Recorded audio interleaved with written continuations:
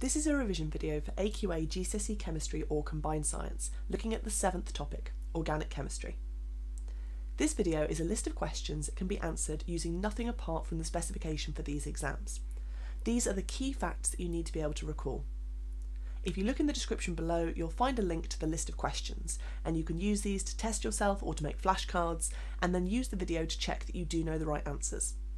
Once you've completed this part of your revision, you'll be ready to move on to more complicated questions which ask you to apply this knowledge. Finite is a word used to describe resources that are running out faster than we can replace them.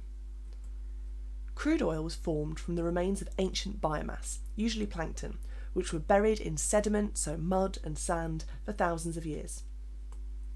Crude oil is a fossil fuel. It's finite and it's running out. Most of the molecules in crude oil are hydrocarbons. These are compounds made from hydrogen and carbon only, and most of them belong to the homologous series known as alkanes. Alkanes have the general formula CnH2n plus 2. This means that however many carbon atoms there are, there'll be twice as many hydrogen atoms and then an extra 2. The first four members of the series are methane, ethane, propane and butane. These molecules all contain single covalent bonds. To draw ethane, we have a chain of two carbons, because ethane is the second alkane, and then each carbon is bonded to three hydrogen atoms. The formula of the alkane containing 10 carbon atoms will be C10H22. You can use the general formula from question 7 to work this out. The formula of the alkane containing 26 hydrogen atoms will be C12H26. Fractional distillation can be used to separate mixtures of liquids and gases into fractions that can be used for different uses. A fraction is a group of chemicals that all have similar boiling points, so when they're experiencing fractional distillation, they'll be extracted together. The fractions from crude oil can be used as fuels and also as feedstocks for the petrochemical industry. Examples include petrol, diesel oil, kerosene, heavy fuel oil, and liquid petroleum gas. These can be used as solvents, lubricants, polymers, detergents, and of course, as fuels. The three most important words you need to remember when describing the process of fractional distillation are heating, evaporating, and condensing, but we'll go into a little bit more detail here because sometimes this turns up as a six mark question. So the first stage is that your mixture, your crude oil, is heated to about 350 degrees C. At this point, almost all of the alkanes are going to evaporate, although bitumen will be left behind because its boiling point is higher than the temperature of the furnace. Within the fractionating column, there is a temperature gradient. This means that it's hot at the bottom of the column and then cooler as you get higher up. The different fractions have different boiling points.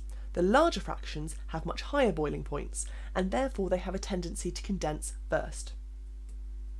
As the fractions rise up, the temperature cools, and as the temperature gets to be colder than their boiling point, the fraction will condense, and then because it's a liquid, it can be easily extracted.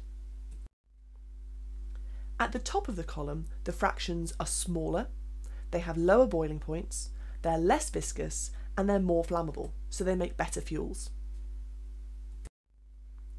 Combustion is another name for burning a fuel in oxygen. When an alkane completely combusts, this means it burns insufficient oxygen for everything to be oxidised. So the carbon becomes carbon dioxide and the hydrogen becomes water. If we completely combust propane, then of course we make carbon dioxide and water. And you can use the numbers in the left side of the equation to see that if there are three carbon atoms, you'll need to make three carbon dioxide molecules. If there are eight hydrogen atoms, you'll need to make four water molecules. And then if you then use those and add up the number of oxygen atoms, you'll see that you need five oxygen molecules. When an alkane incompletely combusts, you make carbon monoxide and water, although you may also make some carbon particulates if there's a particularly low amount of oxygen available. Cracking is the name we give to the thermal decomposition of alkanes. It's commonly the largest fractions of crude oil that are cracked.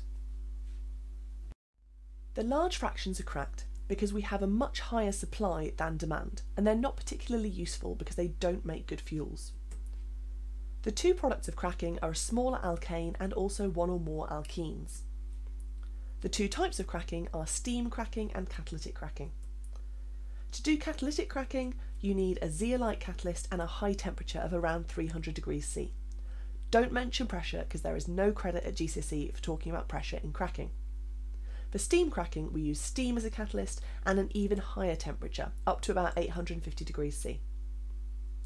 Unsaturated molecules have covalent bonds that are not single covalent bonds.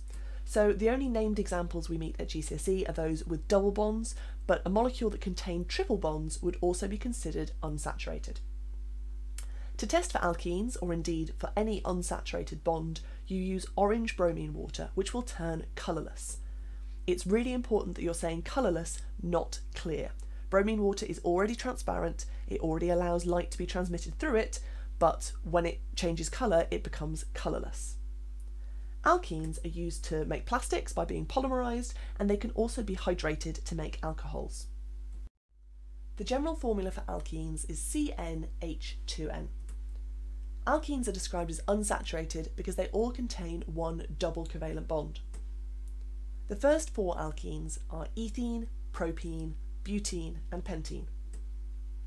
There are a few different ways that you could draw butene, but they all contain four carbon atoms bonded together and one double covalent bond. Make sure that each one of your carbon atoms is making four bonds in total. Obviously, the double bond counts for two. The functional group of alkenes is that carbon-carbon double bond. When alkenes react with oxygen, they also produce carbon dioxide and water, but they tend to burn with a smoky flame, so they don't make as good fuels as alkanes do. When alkenes react with hydrogen, they make alkanes. And when they react with steam, they make alcohols. When they react with chlorine, they make chloroalkanes. When they react with bromine, as they do in bromine water, then they make bromoalkanes. So if we have propene reacting then we would make this dibromopropane. And you can see that the two carbon atoms that used to have a double bond between them have each picked up one bromine atom. The functional group of an alcohol is the OH. The first four alcohols are methanol, ethanol, propanol and butanol. To draw propanol, you need to start with a three carbon chain. Somewhere on that molecule, it then needs to have an OH group to show that it's an alcohol. It doesn't matter whether this is on a terminal carbon or the central carbon, and it doesn't matter if you've drawn it on the terminal one, whether it's coming off the right hand side or if it's coming off the top or the bottom. When ethanol reacts with sodium, it will fizz, which we might describe as effervescence, because hydrogen gas is being released. When an alcohol burns in air, it produces carbon dioxide and water and when an alcohol is added to water, it dissolves to produce a neutral solution. When alcohols react with oxidizing agents like potassium permanganate, they produce carboxylic acids. Main uses of alcohols are as solvents, fuels, and also in alcoholic beverages.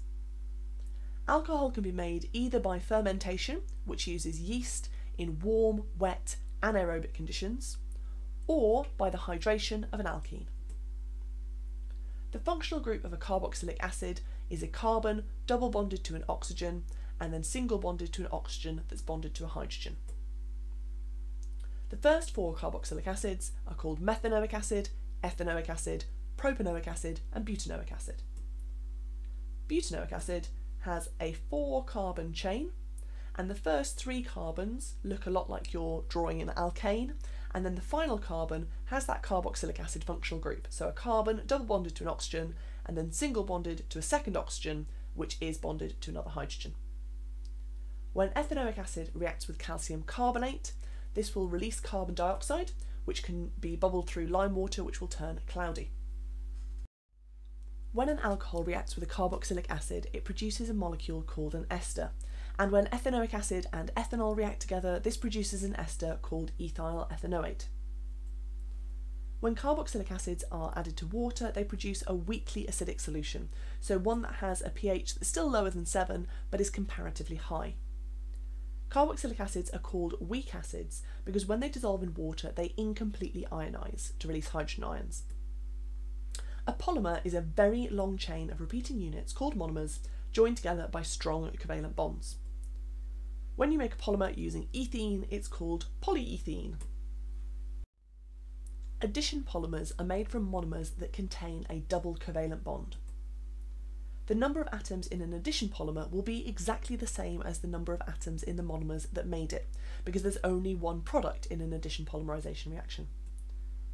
The repeating unit of polypropene will look like this. So essentially you draw propene, but you miss out the double bond because that double bond has broken, and instead we draw those bonds coming out the side, showing that they're now joined together in part of a polymer.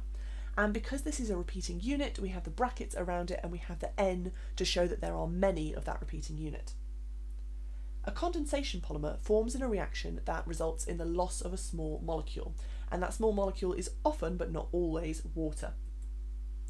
Polyesters are formed when a diol, in other words, an alcohol with two alcohol groups, one on each end, reacts together with a dioic acid, so a carboxylic acid with a carboxylic acid group on each end.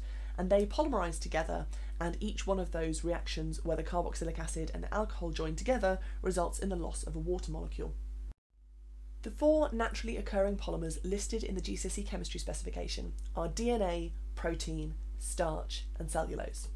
You might also have thought of glycogen, which is listed in your biology specification but not specifically in your chemistry specification. An amino acid is the small molecule that proteins break down into. Here's glycine, which is an example of an amino acid. The rest of the amino acids look very similar, but this hydrogen here can be replaced by a number of other groups of atoms, say a methyl group. So all amino acids are going to have this amine group on the left hand side, a nitrogen bonded to two hydrogens, and this carboxylic acid group on the right hand side. When amino acids polymerize, they make polypeptides, and these polypeptides are then processed further, so for instance, they're folded and multiple polypeptides put together to make proteins. DNA stands for deoxyribonucleic acid, and the function of DNA is to encode the genetic instructions for the development and functioning of living organisms and also of viruses. DNA has a double helix structure consisting of two polymer chains made from four complementary nucleotides. Starch is made out of glucose and so is cellulose. Thank you very much for watching and I hope that you found this a useful introduction to your Unit 7 chemistry revision. If you did find it useful then don't forget to like and subscribe below for more GCSE chemistry revision videos coming soon.